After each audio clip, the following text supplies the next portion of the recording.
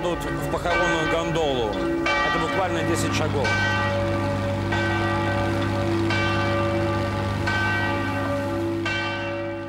Гондолы, как вы видите, они такого черного цвета, и у них есть несколько такой слегка похоронный оттенок. Но когда человека хоронят, зависит от степени благосостояния семьи. У некоторых семей есть свои собственные гондолы, но, как правило, у аристократических семейств есть кабины свои собственные, которые ставятся в любую большую похоронную гондолу, как бы катапалк. Вот здесь вот стоит такое сооружение. Эти кабины, как бы сказать, до известной степени съемные, да,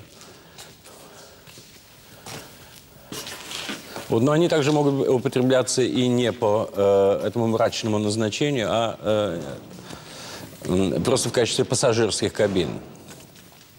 Это вот э, это уже ста- задняя внешняя стена Венецианского арсенала. Там, за теми островами, лежит Адриатическое море и за Адриатическим морем Средиземное. Там остров Сан-Микеле. Это остров мертвых на котором лежат среди всех прочих Стравинский и Дягилев. И там еще много русских аристократов лежит, родственники Пушкина в частности. Скоро постум, друг твой любящий сложение, Долг свой давний вычитанию заплатит. Забери из-под подушки сбережения, Там немного, но на похороны хватит. Поезжай на вороной своей кобыле, в дом Гетер под городскую нашу стену, Дай им цену, за которую любили, Чтоб за ту же и оплакивали цену. Зелень лавра, доходящая до дрожи, Дверь распахнутая, пыльное оконце, Стул покинутый, оставленное ложе, Ткань, впитавшая полуденное солнце. Вам не жалко Советского Союза? Мне жалко моей молодости, но вот этого сооружения громоздкого, который назывался Советский Союз, а до этого Российская империя, мне, в общем, не особенно жалко. Потому что я думаю, что то, что объединяет людей, это не политические и не административные системы, а это система лингвистические. И русский язык как был средством имперского объединения, так он им останется. И русский язык сыграл ту же самую роль на протяжении последних двух или трех столетий, которую сыграл когда-то греческий, который играет английский язык на известной, до известной степени на сегодняшний день. То есть империя распалась, британская, да, но английский язык, э, э, что называется, э, э, шествует по всему миру, что называется. Даже я на нем говорю. Вот вам ответ на имперские дела. То есть, если угодно, у меня действительно двойное имперское мироощущение, то есть основанное на английском и на русском, или на русском и на английском. Меня можно назвать двуглавым орлом. Convergence of the Twain, Lines on the Loss of Titanic by Thomas Hardy. In the solitude of the sea, deep from human vanity, and the pride of life that plant her, stilly couches she. Still chambers laid the pyres, of her salamandrine fires cold currents freed and turn to rhythmic tidal lyres. Скажите, пожалуйста, а что вы чувствовали вот э, некоторое количество времени назад, э, в октябре, когда у нас происходили все эти события? Э, я был убежден, что это все быстро кончится, и я не испытывал того страха, который, видимо, был у людей, живущих в Москве, у свидетелей э, этого, я более-менее э, предполагал, что э, это кончится так, как это и кончилось. Анна Андреевна Ахматова в 60-х годах говорила, я партия Хрущева. А, ну, просто она была ему признательна, помимо всего прочего, за то, что он освободил такое количество людей и дал такому количеству людей крышу над головой. А, на сегодняшний день я мог бы сказать с определенной степенью ну, то есть, э, как бы сказать, безответственности, что я партия Ельцина. Как мне представляется, неразбериха вся, имеющая место в политической жизни э, возлюбленного Отечества, она сводится примерно к следующему обстоятельству. То есть на протяжении всех этих 70 лет э, была масса замечательных людей, которые всячески и всячески значит, э, э, сопротивлялись тому, что происходило, но никому из них в голову не пришло составить, сделать то, что пришло в голову в свое время Масарику, чешскому политическому деятелю, историку и философу, он составил просто конституцию. Да? Вот. И, э, и когда значит, вот произошла так называемая бархатная революция в Чехословакии, по крайней мере, у чехов была какая-то основа того, как строить дальше свою политическую систему. У нас таковой не было. Я, между прочим, присутствовал в Вашингтоне, когда я был э, э, поэтому при библиотеке Конгресса, э, э, при э, акте передачи Вацлаву Хавелу э, американским конгрессом оригинала этой самой Конституции. Но не в этом дело. Дело в том, что на выработку этой государственной системы, на выработку всех этих инерций, всех этих институтов и так далее, и так далее, и так далее, потому что государство – всегда инерция, да, уйдут десятилетия. Ну, вот. И на некоторое время, я думаю, э, э, политическая жизнь э, на территории Отечества будет носить характер весьма лихорадочный и напряженный. Итак, что делать, проклятый русский вопрос? Ну вот вы спрашиваете меня, человека, который уже 21 год живет вне России, и теоретически его даже и спрашивать не надо уже хотя бы потому, что у него как бы нет э, по русской традиции и права об этих вещах рассуждать. Но я думаю, что это неверно. Дело в том, что моя степень, как бы сказать, отдаленности или отстраненности от того, что там происходит, э, если в ней есть какое-то, в ней есть определенное э, преимущество – а именно на этом я могу смотреть, или так, или так мне кажется, я, я смотрю на это с определенной долей трезвости. То есть мое сознание, как бы сказать, не очень замутнено или не раздражено немедленными раздражителями. Да?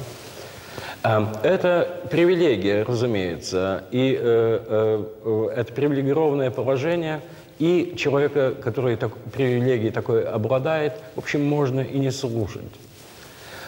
Эм, тем не менее, я скажу то, что я думаю.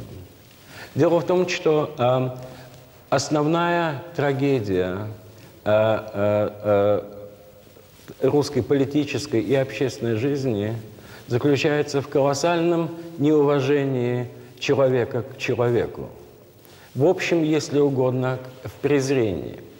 Это обосновано до известной степени тем, э, тем, теми десятилетиями, если не столетиями, Э, э, всеобщего унижения, когда на другого человека смотришь как на, в общем, вполне заменимую и случайную вещь. То есть он может быть тебе дорог, но в конце концов у тебя такое э, глубоко внутри запрятанное э, э, э, ощущение, что, а, ну что, да кто он такой, да кто ты такой, и так далее, и так далее.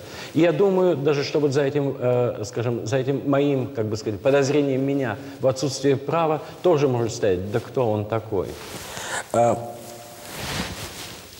и э, одно из э, таких, э, и одним из выражений вот этого неуважения друг к другу является именно вот, это, э, э, э, вот эти самые шуточки и эта ирония, касающаяся в общем предметом которой является, в общем, общественное устройство в обществе. То есть э, э, самое чудовищное последствие тоталитарной системы, которая у нас была, который у нас царил и так далее, и так далее, является именно полный цинизм или, если угодно, нигилизм общественного сознания. Да? А, и, э, и разумеется, разумеется, это чрезвычайно такая, как бы сказать, и удовлетворительная вещь. Это же приятно пошутить, поскалить зубы и так далее, и так далее. Но все это мне очень сильно не нравится. Набоков покойно однажды сказал, когда ему стали рассказывать, это была какая-то ситуация, где ему кто-то приехал из России и рассказывал ему русский анекдот. Он, он смеялся, смеялся, смеялся, он говорит, замечательный анекдот, замечательный шутки, но все это мне напоминает, а, а, а, все это мне напоминает а, шутки дворовых или рабов, которые, э, э, э, издеваясь над хозяином, в то время как э, э, сами они заняты тем, что не чистят его стоило. Вот. И это то, то положение, в котором мы оказались. И, по-моему, может быть, э, я думаю, что было бы разумно попытаться несколько изменить э, общественную, как бы сказать, ну, попытаться изменить общественный э, климат. На протяжении этого столетия, в течение этого столетия, э, русскому человеку выпало такое, чего ни одному народу, то есть э, э, э, э, ни, ни одному народу, ну, может быть, китайцам досталось больше, да, Э, но я не хочу говорить о китайцах, и я не хочу говорить о других. Я, чего ни одному народу, населяющему, в общем, северную часть Евразии, не выпадало. Э, э, мы знаем, то есть мы увидели абсолютно голую, буквально голую основу э, жизни, да, э, нас э, э, раздели и разули и выставили на, э, ну, в общем, на колоссальный экзистенциальный холод. И я думаю, что результатом этого не должна быть ирония. Результатом этого должно быть взаимное сострадание. И этого я не вижу. Я не вижу этого ни в политической жизни выраженном, я не вижу этого в культуре. То есть а, и это тем горше, особенно когда это касается культуры, потому что в общем происходит такой, э, э, то есть ну, самый, самый главный человек в обществе – это человек более-менее остроумный и издевающийся. И это мне колоссально не нравится. Я опять-таки повторяю, я говорю издалека. Но мне кажется, что это объясняется до известной степени историей культуры как категории элитарной. То есть, и, и э, скажем, когда ты добив... то есть, переходишь в сферу культуры, да, у тебя твои ценности начинают в сильной степени отстраняться от, э, э, от э, ценностей или, э, ну, грубо говоря, от реальности тех людей, которые, как бы сказать, с культурой не соприкасаются. На это могут быть два ответа. Первое, это такой пафос всей нашей культурной жизни, привести население Э, ближе к культуре, придвинуть его, то есть разделить это с ним, да? Но, но я думаю, что в результате этого э, может возникнуть довольно комическое последствие, что вообще все станут циниками и так далее. То есть, ну, это уже такой нюанс. Но есть и другой способ. Есть и другой способ. И я сейчас о нем скажу, но я хочу вот одну маленькую деталь здесь ввести, такую маленькую виньетку. В 1964 году, 63 64 году, а, Э, я попал за решетку в третий, по-моему, раз, и меня повезли на север со сроком в пять лет и так далее, и так далее, и так далее. А, и я к тому времени уже писал стихи, и, в общем, стихи для меня, и, в общем, чувствовал себя как бы лучше всех и вся, то есть, по крайней мере, порядком выше всех и вся. А, я оказался, э, я помню купе, в которое, значит, купе на четверых, мы устроились в нем 16 человек, туда заталкивали приклады между лопаток, нормально. Но вот там были люди самых разнообразных сословий. Главным образом э, э, уголовный элемент, ну и просто простые люди, какие-то алкоголики и так далее. Но неважно. И напротив меня сидел крестьянин, как их рисовал Крамской. Руки с венами, длинная борода и так далее, и так далее. Поезд довольно долго шел в Архангельск из Вологды. И, я его, и мы разговорились, я его спросил, за что же он там находится. И он сказал, что он просто украл э, э, э, мешок э, с удобрениями э, в совхозе, получил 10 лет. Ему в тот момент было, наверное, лет 65, э, если не больше. Э, э, да и, вы, и выглядел, выглядел он старше. И я понял одну вещь, что он никогда из этой системы не выйдет. Вот он здесь и умрет, то ли в этом поезде, то ли на пересылках, то ли в другом лагере и так далее, и так далее. И никакая Amnesty International – и более того, никакой союз советских писателей, и даже молодые люди, мои друзья, не будут знать его имени и никогда его нигде и никак не помянут. А, и это в некотором роде э, э, произвело на меня довольно сильное впечатление. То есть это вот этот отрыв культуры. Я, я, я понял, что... То есть если я что-то понял, если я что-то понял, то есть понимаешь эти вещи животом, а, Э, э, я, э, я понял, что вообще все то, чем я занимаюсь, ну, до известной степени, это, конечно, замечательно, я хороший человек, но то, что со мной происходит, рано или поздно, то есть каким-то образом мне даже и поможет, да, то есть кто-нибудь будет за меня хлопотать, за этого человека никто хлопотать не будет. Вот вам разница между культурой и жизнью нации. И это чудовищно. И еще был один момент, когда вот я там начал жить, работать на севере, в этом совхозе и так далее, и так далее – это было довольно скверное место во многих отношениях. Э, и мне это в сильной степени не нравилось. И просто я совершенно к этому не был готов. Городской мальчик и все остальное. Но был один момент, это, знаете, когда вот утром в 6 утра э, скверная погода, зима, холодно, или осень, что еще и даже и хуже. Э, и ты вот выходишь из дома в этих самых сапогах и так далее, и ватники, идешь в сельсовет получать наряд на весь день. И ты вот идешь через это поле, да, по колено в этом самом. Э, в чем угодно, и так далее, и так далее, и так далее. Солнце встает или еще не встало, но ты знаешь, что в этот час, в эту минуту, ну, примерно 40% населения державы движется таким же образом. И Я не хочу сказать, что это тебя наполняет, э, э, э, э, э, скажем, э, каким-то чувством единства. Это ведь зависит от индивидуума. Индивидуума наполняет, наполняет. А, а, но мне это ощущение, в конце концов, стало, было и до сих пор до известной степени задним числом дорого. Эм, и поэтому и то, что я говорю сейчас, то, что я говорю, продиктовано не, скажем, высоколобостью и отстраненностью, но этим чувством, что мы должны на каждого человека обращать внимание – Потому что мы все в совершенно чудовищной ситуации. Где бы мы ни находились, уже хотя бы потому мы в чудовищной ситуации, что мы знаем, чем все это кончается, мы умираем. И поэтому долг человека по отношению к человеку помогать. И общество должно э, строиться именно на основе круговой поруки и взаимной помощи, а не на утверждении, на, не на соображениях эгоистических какого бы то ни было порядка. И культура наша отечественная – она играет, она вся движима, на мой взгляд, то есть большинство ее э, представителей, они движимы соображениями столь же эгоистическими, сколько, э, сколь и, видимо, те люди, которые вот сейчас пытаются быстро разбогатеть и так далее, и так далее, и так далее.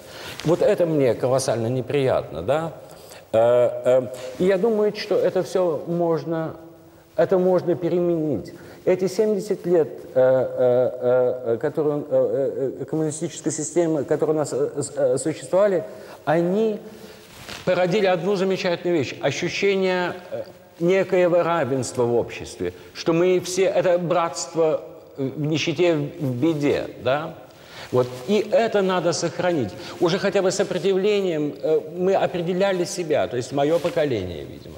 Мы определяли себя, самоопределились именно в противостоянии этой системе. И за это надо быть благодарным системе до известной степени. Потому что, э, когда ты имеешь дело со злом, оно тебе позволяет тебя, э, себе сформулировать, что на свете ценно и что на свете менее ценно. Вот.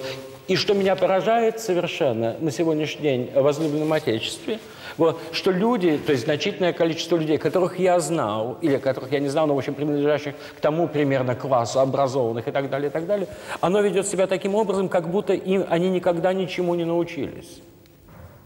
Как будто им никто никогда не говорил, что надо понимать и любить э, всех, то есть каждого, да. То есть я не понимаю, как это происходит. Я думаю, что в обществе еще есть вот этот, э, вот это, э, как бы этот общий знаменатель, который бы надо было сохранить, который надо всеми силами удерживать. Да? Маркс был прав в одном отношении. Капиталистическая система ведет к колоссальной атомизации общества. У нас этой атомизации 70 лет не было. Худо, бедно, по каким бы то ни было причинам, у нас было общество. Я думаю, что если мы будем следовать то есть, э, э, вот, тем э, как бы сказать, э, указаниям или предложениям, которые на сегодняшний день доминируют э, в сознании как интеллигентной части населения, так и неинтеллигентной, я думаю, что мы можем кончить потерей общества. То есть это будет, в общем, каждый сам за себя, да? такая волчья вещь. Да? Все должны помогать всем. Социалистический идеал общества это разумный идеал. Он основан на ощущении, вполне оправданном, что в обществе, общество разрастется количественно. И поэтому нужен, нужны какие-то общие... То есть, чтобы руководить или чтобы управлять таким обществом, чтобы в нем не возникла колоссальная поляризация, нужен некий общий знаменатель. Вся беда заключается в том, что при, при э, проповедании этого социалистического, социалистического идеала была допущена кардинальная ошибка. А именно – нам было сказано, и основоположники социалистической доктрины все утверждали, что наступит рай на земле. Они совершенно, и это свидетельствует об их полном зверином идиотизме. То есть на самом деле основой для социалистического общества является одна простая вещь, что жизнь тяжела, трудна, страшна и чудовищна. И поэтому, поэтому нам надо каким-то, э, только объединившись вместе, мы можем каким-то образом облегчить себе существование. Рая никогда не будет. То есть э, никогда не будет замечательно, никогда не будет ни утопии, ни даже, в общем, какого бы то ни было приближения к утопии. Библия права в одном отношении, что ты в поте лица будешь зарабатывать свой хлеб. Никакая система, ни капиталистическая, ни социалистическая, ни э, э, коммунистическая, никакая не избавляет человека от того... Ну вот я вам простую вещь сейчас скажу. Мне было 16 лет, я работал на заводе «Арсенал». Был митинг в поддержку Египта, потому что тогда значит, произошли все эти самые события и так далее, и так далее. И э, лектор, я уже не помню откуда, значит, это было собрание рабочих и так далее, и так далее, начал, значит, ну, что такое говорил, что мы должны помогать Египту, бороться с капитализмом и так далее, и так далее, и поэтому мы должны выйти на субботник. И встал человек, это было тогда, 56 год, довольно страшное время, слесарь в моем цеху. Он, видимо, уже и пьян был в то время, к тому моменту. И он сказал, а какая мне разница, капиталист мой хозяин или коммунист мой хозяин? Один дьявол, мне придется, мне надо вставать в 7 утра. И вот это надо помнить. При всех этих разговорах о новом обществе, которое там, и о западных моделях, или я уже черт знает о чем, да? Дело в том, на, на, на, в главной посылке, на основании которого строится общество – Э, э, я бы даже сказал, я бы даже сказал следующее, что даже западное общество, я говорю о Европе, оно все более, а, оно более или менее все-таки все построено действительно вот на, на такой, как бы сказать, э, на обещании лучшего мира. И эта, и эта инерция обещания лучшего мира, она, она чрезвычайно как бы... А, это двигатель прогресса до известной степени, но это двигатель, который э, пожирает очень много топлива, э, человеческого в том числе. То есть... Чем, э, чем замечательна до известной степени американская система, тем, что ее основатели приняли за главное положение отнюдь не руссоистскую мысль, отнюдь не представление о человеке как о благородном дикаре – они, у, это, у них была протестантская идея. Их главная идея была, что человек радикально плох, то есть, что он опасен. То есть, что он может сделать с другим совершенно чудовищные вещи. Поэтому нужно создать такую систему, которая взнуздала бы до известной степени негативные качества человека. Да? Отсюда система законов – они не говорили никогда, что мы создадим идеальное общество. Они говорили, мы попытаемся создать общество. Почитайте бумаги федералистов, да, э, э, э, в котором, по крайней мере, по крайней мере, негативная сторона человека может быть как-то более или менее контролирована.